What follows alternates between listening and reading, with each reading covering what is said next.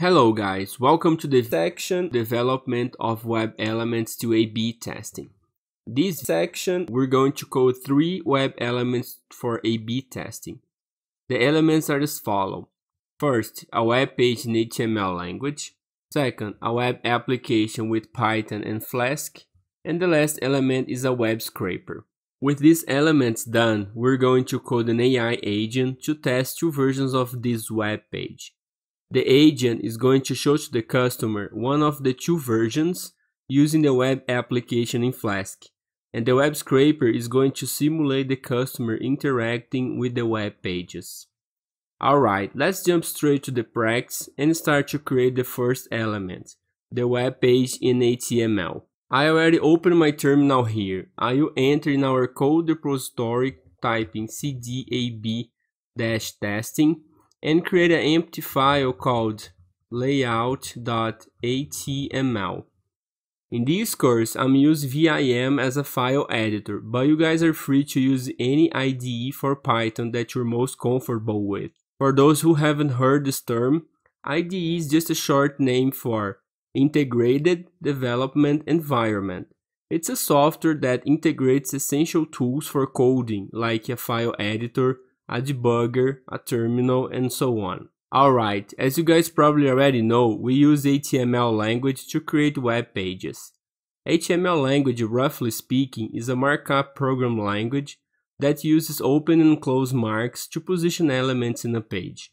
Buttons, headers, picture, links are examples of elements.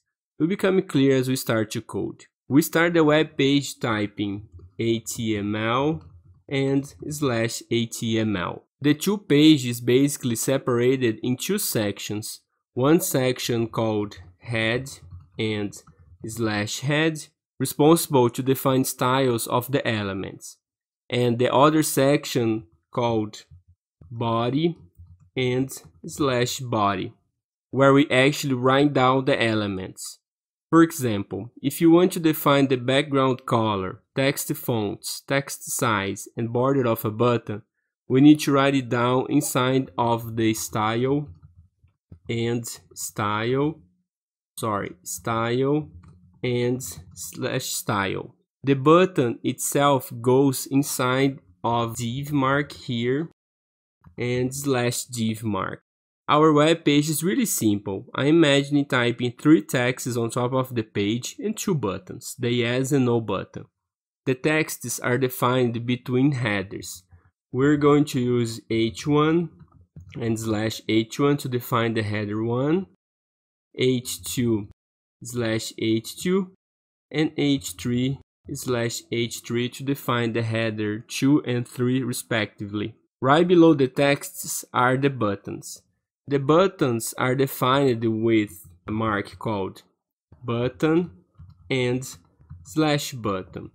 Actually, this button marks goes inside of the form and slash form marks like this which is responsible to handle all functionality of the buttons when they get clicked. This is the structure of the yes button. I'm gonna select them, copy and paste right here for the no button. Simple like this guys, we actually finished the structure. Now it's time to provide attributes to the elements. So let's start with the div. The div marks receives a class name like class equals to block 1. Also the button receives an ID. For the yes button the ID is going to be yes btn it also receives a name equals to forward btn, a type equals to submit, and a class equals to block. Also, the name of the yes button is of course yes, right? I'm gonna copy this set of attributes for the no button here. And of course change the ID to no btn. The name is gonna be the same, type and class remains the same and of course the name of the button is gonna be no button. The form has two attributes. The first one is called action. It's going to be slash yes for the yes button and a method which is going to be post. Again copy and paste here. Of course change the name of the action. Slash no for the no button and the method remains the same in order to make the clicks more visual to us I will place a checkbox in front of each button. Every time that the button gets clicked the checkbox gets clicked as well. Create a checkbox is really simple. Just type input type equals to checkbox. the name is going to be yes check box check box the value is going to be yes. Same for the no button. I'm gonna copy and paste this checkbox here. And actually the name of this checkbox is going to be no checkbox and the value is going to be no. Finally let's write the texts of the headers. So the header one is going to be practical, artificial intelligence for A-B testing. The header 2 is going to be something like development of AI agents to perform A-B testing. And the header 3 is going to be something like are you ready to start? Also, we can write a paragraph in the web page. Just type p and slash p. The paragraph could be something like AI is the intelligence demonstrated by machines, something like this. Alright guys, so far so good. The last step is to write down the styles of the elements. Let's go up here to the style mark. I'm gonna position a little bit forward. And the first thing to do is to import a CSS file from Google.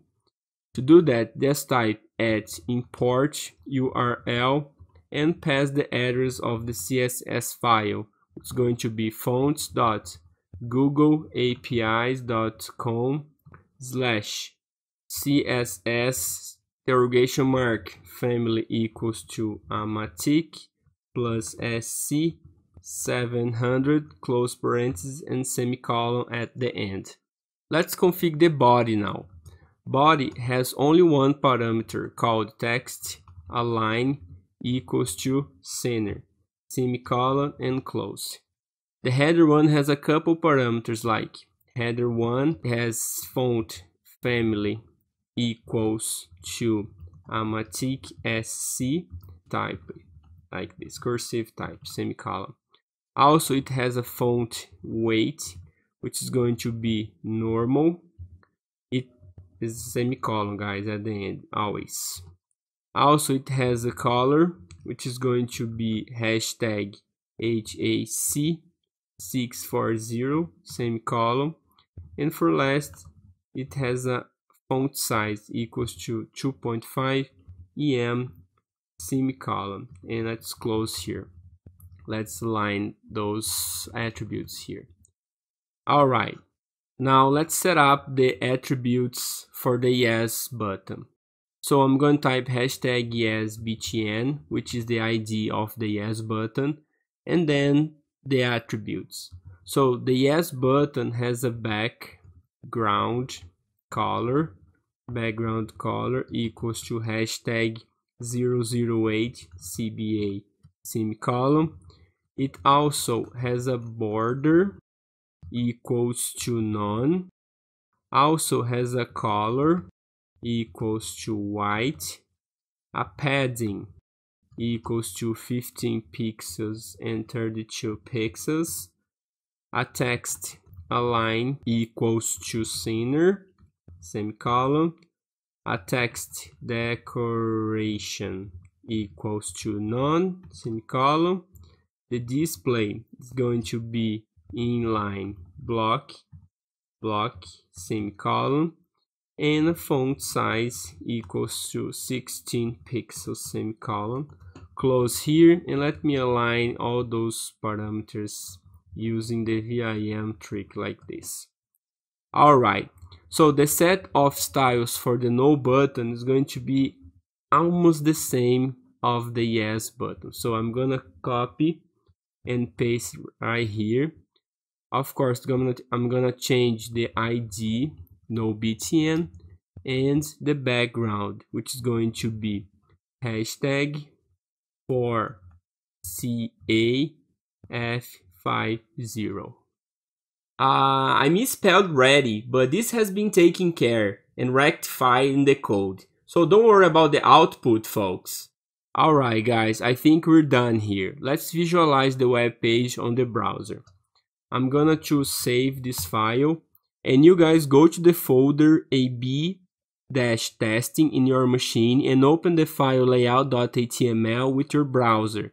It could be Firefox, Google Chrome, Safari, I already opened my Chrome here and in the address bar I'm going to type the path to the file and press enter. So if not wrong, my file is located at slash users slash mageron slash ab testing slash layout.html. There we go. This is our web page. Adorable, right?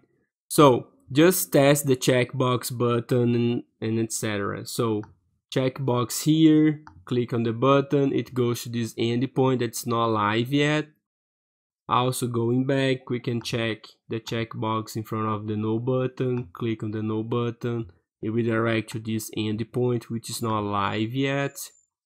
Everything is working as expected so far. Congratulations folks!